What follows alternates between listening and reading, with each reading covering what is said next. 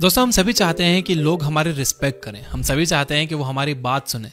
लेकिन ऐसा करा पाना काफ़ी मुश्किल होता है। एक बार के लिए तो आपको ये लग सकता है कि पैसे आ जाने से या बॉडी बना लेने से लोग आपकी रिस्पेक्ट करने लगेंगे। और ये बात एक हद तक सच भी है। लेकिन ऐसा ज़रूरी नहीं है कि अमीर होने पर ही आपको रिस्पेक्ट मिले। दुनिया के बहुत से फिलोसोफर्स गरीब थे, लेकिन उनकी रिस्पेक्ट सारी दुनिया करती थी। तो वो कौन सी बातें हैं जिसकी वजह से एक बंदा रिस्पेक्टफुल बनता है? इस वीडियो में हम ऐसी पाँच बातें जानेंगे। जिनकी हेल्प से आप लोगों से रिस्पेक्ट पा सकते हो। ये टिप्स रॉबर्ट ग्लोवर की book no more mister nice guy से ली गई हैं। तो आइए इनके बारे में एक एक करके जानते हैं।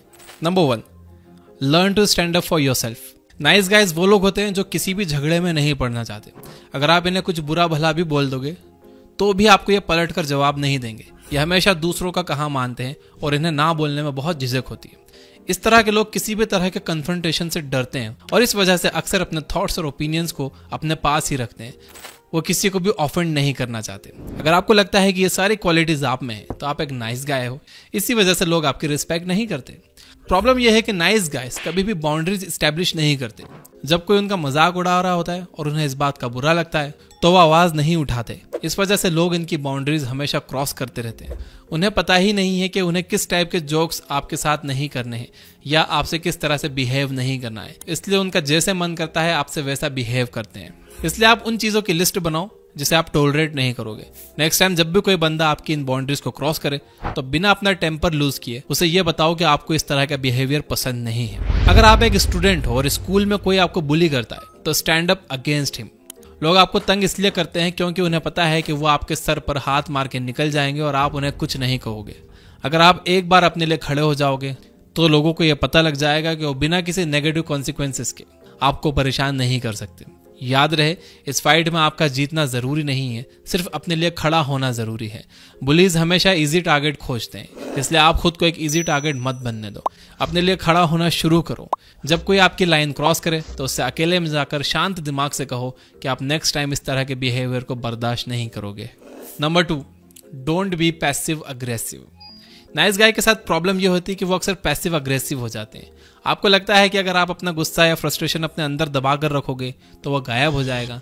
लेकिन ऐसा नहीं है। सिगमेंट फ्रेड नाम के एक फ़ेमस साइकोलॉजिस्ट ने यह बताया था कि हम जिस भी इमोशन को खुद के अंदर दबा कर रखते हैं, वो बाद में किसी दूसरे फॉर्म में बाहर निकलता है।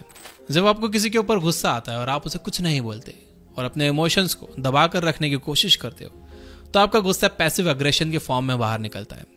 पैसिव अग्रेशन का मतलब है, आप सामने से तो उन्हें कुछ नहीं कहोगे, लेकिन उन्हें हर्ट करने के लिए मौके हमेशा ढूंढते रहोगे। आप भी जानबूझकर ऐसे जोक्स मारोगे, जिससे उन्हें तकलीफ़ हो। आप उनके ज़रूरी सामान छुपा दोगे, या उनके सक्सेस को सेबोटेज करने की कोशिश करोगे। साथ ही, जब आप बहुत सारा गुस्सा और फ्रस्ट्रेशन दबा कर रखोगे तो आपके अंदर कड़वाहट भर जाएगी। आप छोटी छोटी बातों पर चिढ़ने लगोगे। आप अपना आपा खोने लगोगे। उस इंसान के छोटे छोटे जोक्स भी आपको चुभने लगेंगे और आप पीठ पीछे हर वक्त उसकी बुराई करने लगोगे। इस तरह का बर्ताव करने से ना सिर्फ़ आप अपनी रिस्पेक्ट खोते हो, बल्कि इंपॉर्टेंट फ्रेंड्स भी खो देते हो। इसलिए नेक्स्ट टाइम अगर आपको किसी बात से चिड़ हो, आप सामने वाले बंदे को अकेले में देख कर उससे शांत दिमाग से बोल दो, मुझे तुम्हारी ये बात अच्छी नहीं लगी। I will really appreciate if you won't do it again in future number three be a man of action nice guys usually बहुत इनसिक्योर होते हैं, ये जेलस होते हैं। इसी इनसिक्योरिटी को छुपाने के लिए ये एक यस मैन बन जाते हैं और सबसे मीठी मीठी बातें करने लगते हैं। ये लोगों को अपनी बातों से इम्प्रेस करने की कोशिश करते हैं, लेकिन इनकी इनसिक्योरिटीज और इनकॉम्पिटेंस किसी से छिपते नहीं हैं। लोग टाइम के साथ जान जाते हैं कि यह बंदा सिर्फ़ अपनी वीकनेस छुपाने के लिए सारे काम कर रहा है और वो उससे दूर भागने लगते हैं। इसलिए आप एक मैन ऑफ़ एक्शन बनिए। जब आप अपने काम में और अपनी पर्सनल लाइफ में चीज़ें अचीव कर रहे होते हो तो इससे ये प्रूव होता है कि आप एक मैन ऑफ़ एक्शन हो। आप जो कहते हो, वो करते हो। इसके साथ ही अगर आप बस उतना बोलने की कला सीख लोगे जितना आपको बोलना चाहिए तो लोग आपकी रिस्पेक्ट और भी ज़्यादा करेंगे। कम बोलने वाले लोग मिस्टीरियस लगते हैं, जिस वजह से दूसरे लोग कभी ये नहीं समझ पाते कि उनके दिमाग में क्या चल रहा है। Number four get rid of your addictions थोड़ी देर पहले हमने देखा कि किस तरह से अपने इमोशंस अपने अंदर दबा के रखने से आप पैसिव अग्रेसिव और बिटर हो जाते हो।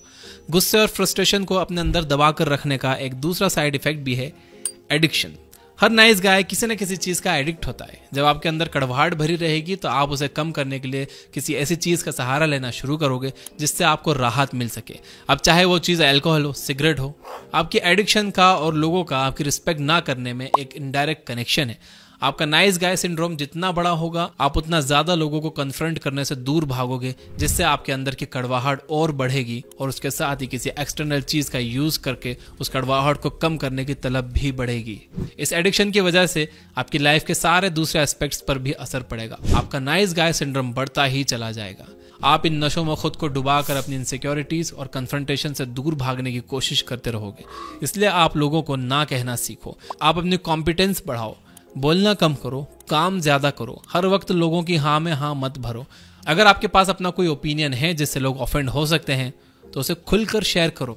आयरन इसी बात में है कि आप लोगों को इम्प्रेस करने की जितनी ज़्यादा कोशिश करते हो, आपकी रिस्पेक्ट उतनी ही कम होते जाती है।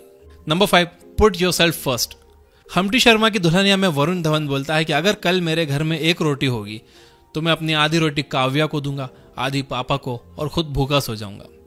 ऐसा करने में कोई स्मार्टनेस नहीं है। अगर आपका पेट भरा रहेगा तो आप काम कर पाओगे और काव्या और पापा के खाने के लिए बहुत कुछ लेकर आ पाओगे। खुद का पेट काट कर आप दूसरों को कितने दिन तक खिलाओगे? एक दिन के बाद आपके अंदर की एनर्जी खत्म हो जाएगी और आप काव्या और पापा के लिए खुद बोझ बनकर रह जाओगे। ऐसे में ना तो आपको काव्या प्यार करेगी ना ही पापा। आपकी नीड्स को पहले रखने का मतलब ये नहीं है कि आप सेल्फिश हो। अपनी नीड्स और गोल्स को पहले रखकर ही आप सक्सेसफुल बनोगे। एक बार आप सक्सेसफुल हो गए तो आप अपनी फैमिली के लिए सोसाइटी के लिए और दुनिया के लिए बहुत कुछ कर सकते हो। गरीब और नाकाम आदमी अपना ही ख्याल नहीं रख पाएगा तो वो दूसरों का ख्याल कैसे रखेगा? एरोप्लेन में भी जब ऑक्सीजन लेवल ड्रॉप होते हैं तो एक अनाउंसमेंट होती है कि आप सबसे पहले अपने मुँह पर मास्क लगाओ। भले ही आपके बगल में एक बच्चा है या बुज़ुर्ग है जो खुद से मास्क लगा नहीं पा रहा हो, आप सबसे पहले खुद मास्क लगाओ और फिर उनके हेल्प करो। ऐसा है इसलिए क्योंकि ऑक्सीजन लेवल ड्रॉप होने के थोड़ी देर बाद आप अपना होश खोने लगोगे। ऐसे में आप तो चक्कर खाकर गिरोगे ही, आपके साथ आपका बच्चा और वह बुज़ुर्ग भी जाएँगे। खुद की केयर करके ही आप उस पोजीशन पर पहुँचते हो, जहाँ पर आप दूसरों की केयर कर सकते हो। इसलिए अपने गोल्स बॉडी की नीड्स और एस्पिरेशंस की रिस्पेक्ट करना सीखो। लोगों को ना कहना सीखो, ताकि आप अपने लिए ज़्यादा टाइम निकाल सको और ज़्यादा सक्सेसफुल हो सको। लास्टली नाइस गाय ना होने का मतलब ये नहीं है कि आप छोटी छोटी बातों पर हर वक्त लोगों से झगड़ा करते रहो। और लोगों से ज़बरदस्ती अपने रिस्पेक्ट करवाओ इसका मतलब यह है कि आप अपने कम्युनिकेशन स्किल्स को इम्प्रूव करके लोगों को अपनी बाउंड्रीज के बारे में बताओ। ना कहना सीखो। ज़रूरी मैटर्स में अपने ओपिनियन दो, भले ही उससे कुछ लोग ऑफेंड हो जाएँ।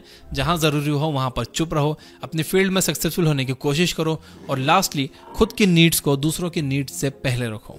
इन स्ट्रेटेजीज को यूज़ करके आप ज़्यादा सक्सेसफुल भी होगे और लोगों में अपने रिस्पेक्ट भी इंक्रीज कर लोगे। तो कम्युनिकेशन स्किल्स पर एक वीडियो देखना है तो राइट वीडियो पे क्लिक करो और अगर पैसिव अग्रेशन समझना चाहते हो तो लेफ़्ट वीडियो पे क्लिक करो। Finally you guys are amazing keep reading keep learning keep growing thank you for watching